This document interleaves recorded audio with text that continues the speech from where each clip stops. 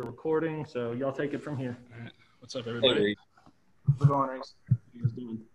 What has uh what's it been like for you with quarantine trying to keep your baseball skills up? Are you just doing a lot of independent stuff or how do you go about doing it? Um, well, since we've been back here, we were fortunate enough to uh, kind of get individuals going pretty early. So we were able to come and hit in the cage and um, do live on the field. Uh, just no coaches were allowed to be around, so that helped a lot. But prior to that, I mean, uh, some of the guys, including myself, played summer ball. I played summer ball with Robby uh, Martin, and um, that was good. But it was really hard at home. You know, a lot of stuff was closed down, and I kind of just resorted to putting a net up in my backyard and hitting off of that. But uh, it, it it was definitely an experience. I would say. I guess how how much getting used to has it taken? I know you're only a couple days in with kind of all how different fall is this year. I mean, having to spread out, like you said, kind of limited contact with coaches, stuff like that.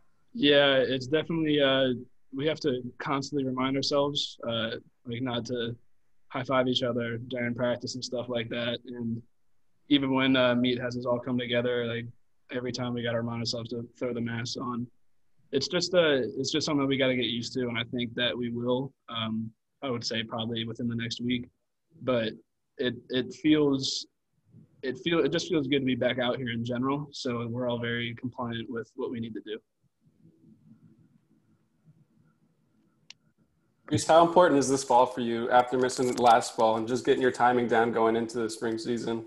Um, I actually thought about that yesterday uh, for the first time because, you know, we played our scrimmage and it went really well, and uh, I, I just remember not having this much time to not have to worry about getting where I need to be so quickly. So it's uh, definitely takes a little bit of pressure off of me personally, and uh, it allows me just to enjoy what's going on a lot more.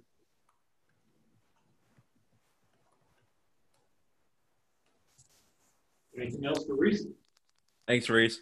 Appreciate it. Thank you guys. All right.